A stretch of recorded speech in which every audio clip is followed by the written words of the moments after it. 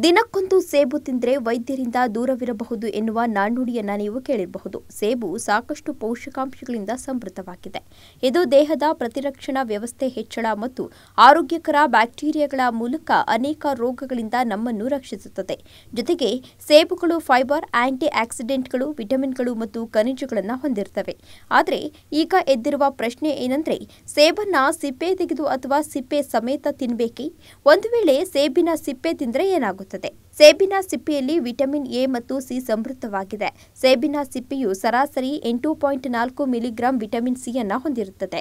ಸೇಬಿನ ಸಿಪ್ಪೆಗಳು ಕ್ಯಾನ್ಸರ್ ಕೋಶಗಳನ್ನು ನಾಶ ಮಾಡುವ ಸಾಮರ್ಥ್ಯವನ್ನು ಹೊಂದಿರುತ್ತೆ. ಸೇಬಿನ ಸಿಪ್ಪೆಗಳು ಕರಗುವ ಮತ್ತು ಕರಗದ ಫೈಬರ್ ಅನ್ನು ಹೊಂದಿರುತ್ತದೆ.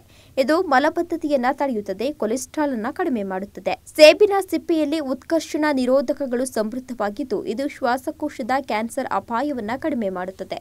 ಇದಷ್ಟೇ ಅಲ್ಲದೆ ಈ ಹಣ್ಣಿನಲ್ಲಿ ಕ್ವೆರ್ಸಿಟಿನ್ ಮತ್ತು ಫ್ಲೆವನೈಟ್ ಇದ್ದು ಇದು ಶ್ವಾಸಕೋಶವನ್ನು ಆರೋಗ್ಯಕರವಾಗಿರಲು ಸಹಾಯ ಮಾಡುತ್ತದೆ.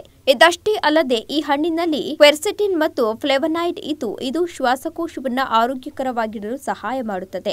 ವಾರಕ್ಕೆ ಐದು ಅಥವಾ ಅದಕ್ಕಿಂತ ಹೆಚ್ಚು ಸೇಬುಗಳನ್ನು ತಿನ್ನುವವರು ಆರೋಗ್ಯಕರವಾದ ಶ್ವಾಸಕೋಶವನ್ನು ಹೊಂದಿರುತ್ತಾರೆ. ನೀವು ತೂಕವನ್ನು ವೇಗವಾಗಿ ಕಳೆದುಕೊಳ್ಳಲು ಬಯಸ್ತಿದ್ರೆ ಸಿಪ್ಪೆ ಸಮೇತ ಸೇಬುಗಳನ್ನು ತಿನ್ನಿ. ಸೇಬಿನ ಸಿಪ್ಪೆಯಲ್ಲಿ ಉರ್ಸೋಲಿಕ್ ಆಮ್ಲವಿದ್ದು ತೂಕ ಇಳಿಕೆಗೆ ಸಹಾಯವನ್ನು ಮಾಡುತ್ತದೆ. ಇದಕ್ಕೆ ಕಾರಣವೆಂದರೆ ಮಾರುಕಟ್ಟೆಯಲ್ಲಿ ದೊರೆಯುವ ಸೇಬಿನ ಸಿಪ್ಪೆಗೆ ಅಂಟಿಸಲಾದ ಸ್ಟಿಕ್ಕರ್ಗಳು ಇದು ದೇಹಕ್ಕೆ ಹಾನಿಯುಂಟು ಮಾಡುತ್ತದೆ. ಇದಲ್ಲದೆ ಸೇಬು ಬೇಗ ಹಣ್ಣಾಗಲಿ ಎಂದು ಇತ್ತೀಚಿನ ದಿನಗಳಲ್ಲಿ ವಿವಿಧ ರಾಸಾಯನಿಕಗಳು ಮತ್ತು ಕೀಟನಾಶಕಗಳನ್ನು ಬಳಸಲಾಗುತ್ತದೆ. ಈ ಹಾನಿಕಾರಕ ರಾಸಾಯನಿಕಗಳು ಹಣ್ಣಿನ ಗುಣಮಟ್ಟವನ್ನು ಕಡಿಮೆ ಮಾಡುತ್ತದೆ. ಹೆಚ್ಚಾಗಿ ಹಣ್ಣಿನ ಹೊರಭಾಗದ ಮೇಲೆ ಪರಿಣಾಮವನ್ನು ಬೀರುತ್ತದೆ.